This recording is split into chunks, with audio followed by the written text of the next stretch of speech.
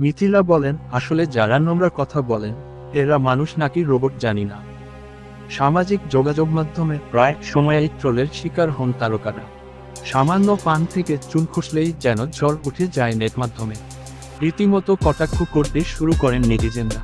তবে এই ব্যাপারটা খুব একটা ভাবায় না দুই বাংলার জনপ্রিয় অভিনেত্রী রাফিয়া প্রসিদ্ধ মিথিলাকে। সম্প্রতি পশ্চিমবঙ্গের একটি পডকাস্টে এ বিষয়ে মুখ খুলেছেন এই অভিনেত্রী। মিথিলা বলেন, আগে একটা সময় ছিল যখন এই ব্যাপারগুলো নিয়ে অনেক ভাবতাম। কিন্তু বিষয়গুলো এখন আর আমাকে ভাবায় না। সোশ্যাল মিডিয়ায় যারা আমাকে না চিনেই মন্তব্য করছেন, তারা আসলে কারা সেটা আগে জানতে হবে। যারা নোংরা কথা বলেন, এরা মানুষ, অটোবটস নাকি রোবট সেটাও কিন্তু আমি জানি না।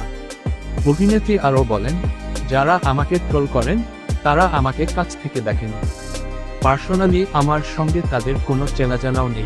এরা বাইরে থেকে একটা পরিস্থিতি দেখে এরপর নিজের মতো করে একটি কল্পনা ও দৃষ্টিভঙ্গি দাঁড় করায় যে, মিথিলা এরকম অথবা মিথিলা ওইরকম এটা তাদের ভাবনার বহিঃপ্রকাশ।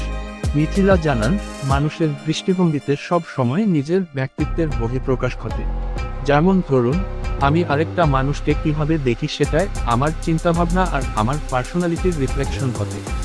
তাই আমি বলব, এই যে সামাজিক যোগাযোগ মাধ্যমে এত ট্রোলিং গালিগালাজ, নোংরা কথা বলেন যারা, এসব আসলে তাদের পার্সোনালিটির রিফ্লেকশন এখানে আমার কোনো দায়বদ্ধতা নেই, কারণ আমরা কেউ কাউকে চিনি না। তিনি বলেন, সোশ্যাল মিডিয়া ম্যানেজ করার জন্য আমার আলাদা লোক আছে। তাই এসব আর আমাকে দেখতে হয় না। ফলে বাজে মন্তব্য, এখন আমার ওপর কোনো প্রভাব ফেলে না।